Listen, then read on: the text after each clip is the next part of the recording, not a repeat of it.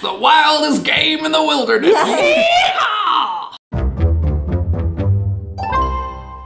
Hey everybody, what is up? My name is Mackenzie. And I'm Jonathan. we are husband and wife, and we'd like to welcome you to TerreDice. And today we have a triple feature of three new Disney board games. That is correct. Funko Games is turning out a whole lot of new Disney games this year, and we are Yeah, going to tell three. yeah more than three. So we are going to tell you our favorites that are coming out. Now you might be like, Funko, isn't that the company that makes like those pop figures? Yes, that you are correct. But they also make some killer board games, especially when they recently teamed up with the famous Prospero Hall, who are the original designers of Disney Villainous, and they have been turning out some awesome thematic games. Yeah, we got games like Goonies Yeah. and The Rocketeer, which was an awesome Disney one, and mhm. Fast and the Furious. And right now on Kickstarter, they have a new Jurassic World, Jurassic Park Legacy game. It's huge. Yes. So they're doing a bunch of stuff in this world. It's Yes, awesome. so Prospero Hall is known for great thematic ties, and I think Funko's going to do uh, like a great job with them as well as they have been. All right, now the three games we're gonna show you are the top tier themed board games that we think are gonna be great, but they are all for different age ranges. So we're gonna start back at the game that's geared towards your kids, and we're gonna go towards the last one, which we are personally very excited about. Yes, so let's dive into that 2022 lineup. So the first one we have up is Disney's The Headless Horseman game. Now, I think this is really interesting because a lot of younger kids are not going to know this. So I really think this is gearing it Yeah. toward the adults that know this so they can really enjoy the theming of this game. But what is the theming for what is Yeah, so it's midnight in Sleepy Hollow, and Ichabod Crane is trying to get home. All the spooky haunts are coming out,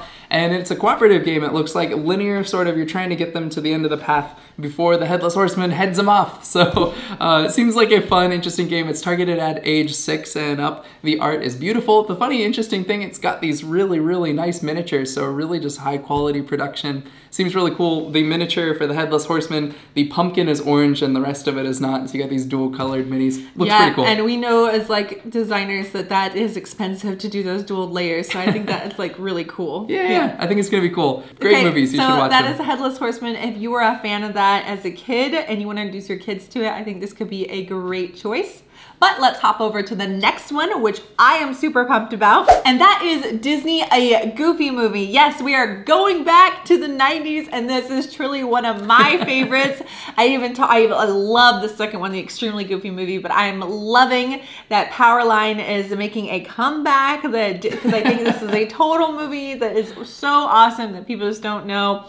Um, but yeah, so the description for that is. Yeah, basically, Powerline is headed on their tour across America, and they're gonna have their big performance in LA. And so Goofy and Max and the gang are making their way across the states and trying to like get a bunch of pictures and mm-hmm. goodies and all these things before they end up at the concert. Now they it sounds like they have to beat Powerline to the concert. There is a die involved that's basically determining how far Powerline is moving, and then also Goofy might go on a detour and they do crazy stuff. So Yeah. it seems really cute. It doesn't. Really it, light, what, yeah. For the theming, it says that they're specific in saying Powerline is back on tour again.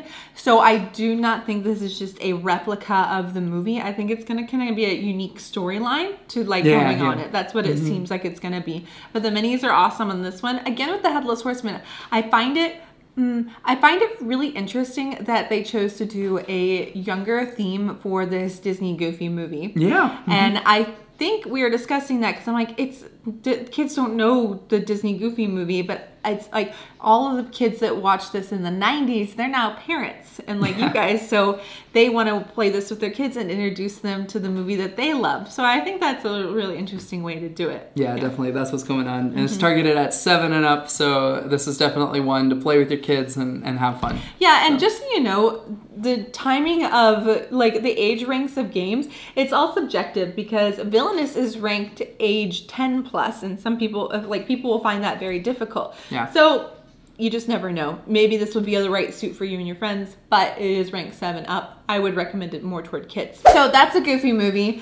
But this next one we are super excited about, and I definitely want to see it on my shelf, and so will you if you are a fan of Villainous, and that is Disney's A Big Thunder Mountain game, Big Thunder Mountain Railroad Oh, game. yeah. it's the wildest game in the wilderness. Yes. and this game definitely has more of that sophisticated look to it that I think you and your friends are going to enjoy. It's got a bit of a Fireball Island vibe Yeah, to it. So yeah, yeah. we have a 3D board of the uh, the top of the mountain, and there are these sort of locations where you insert these marbles and they roll down off onto the track. Doesn't seem to be a complete luck game, so it's actually listed as an intro to deck building. So there's a deck building component to it where you're getting these cards. It looks like you have a mine cart. It goes around the track and you pick up the marbles and uh, some of it's gold, some of it's water, Yeah. whatever. Uh, and it seems very interesting. I'm very excited to see where this goes. Yes, I love the Yeah. dexterity part of it with the marbles and the deck building. I think it's gonna be really fun, and the art in this game looks really nice. It's that high quality Prospero Hall art that I love,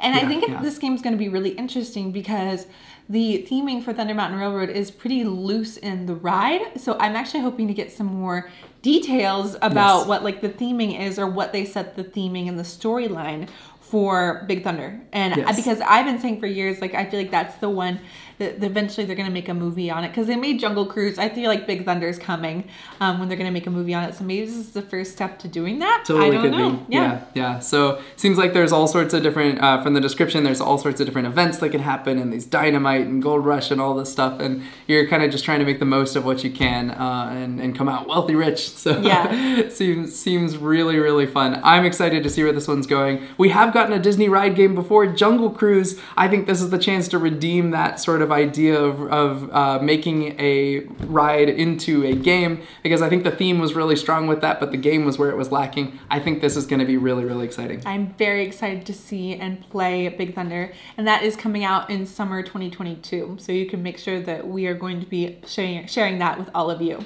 All right, everyone, and that is the three games that we think you should be knowing about that are coming out in 2022. Let us know down below which ones you are most interested in and what you think about these themings. I really would be interested to talk to you about in the comment section. As always, thank you so much for watching. If you like this video, make sure to like and subscribe and hit that notification bell so you can know whenever we put out a new video. And we'll see you next time. Happy playing.